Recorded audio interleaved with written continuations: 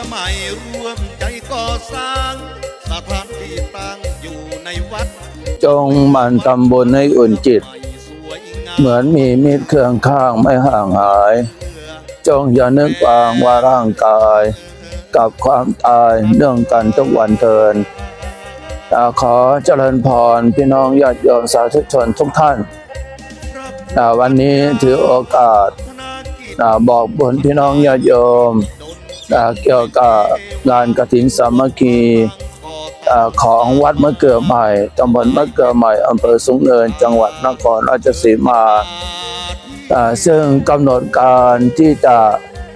ทอดกฐินสามัคคีในวันที่ 19 พฤศจิกายน พุทธศักราช 2566 ที่จะถึงนี้ เวลาประมาณบ่ายโมง การทอดกฐินสามัคคีในปีนี้ เพื่อที่จะร่วมด้วยช่วยกันระดมทุนก่อสร้างพระเจดีย์ศรีพุทธบูชา ซึ่งขณะนี้ทางวัดได้ดำเนินการก่อสร้าง แล้วเสร็จประมาณ 60%อ่าก็ยังเหลืออีก 40%อ่าซึ่งจะใช้กองทุนเป็นจำนวนมากในการที่จะก่อสร้างนะเจดีย์ศรีพุทธบูชา นะอย่างน้อยๆก็จะต้องประใช้กองทุนอีกประมาณ 5 ล้านถึง 6 ล้านบาทนะถึงจะแล้วเสร็จพลพิชิตนะฉะนั้นวันที่ 19 พฤศจิกายนนี้จึงขอเจริญพรเรียนเชิญนะท่านที่พอจะมีกำลังนะอยากจะมานะร่วมทอดกฐินสามัคคีก็นะขอเจริญพรเรียนเชิญนะหรือท่านใดที่นะอยากจะ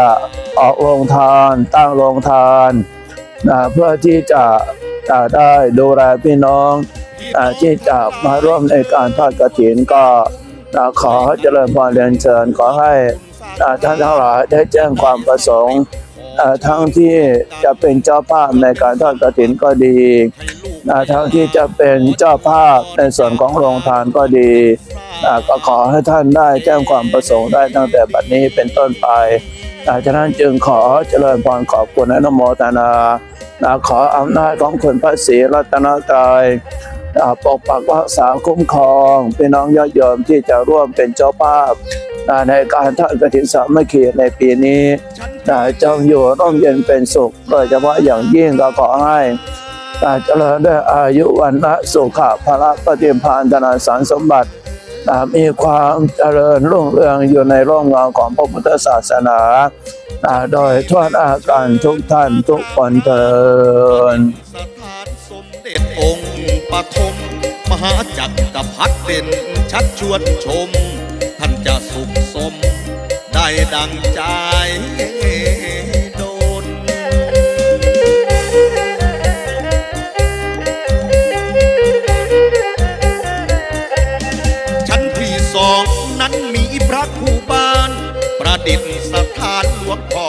มงคล หลวงพ่อพุทธมงคล ชุมพลพิชิตมารขอเชิญลูกหลานมากราบไหว้ขอพร ชั้นที่สามน้ำชั้นเจดี บรรจุพระบรมสารีริกธาตุและสิ่งสำคัญออรหันตธาตุ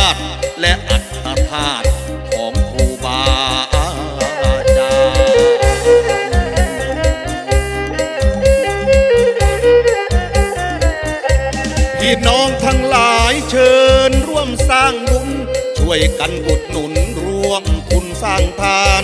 จะได้สำเร็จขอเชิญร่วมกัน เพื่อเป็นสมบัติ ให้ลูกให้หลานขอเชิญบริจาคทานร่วมกันสร้าง เจดี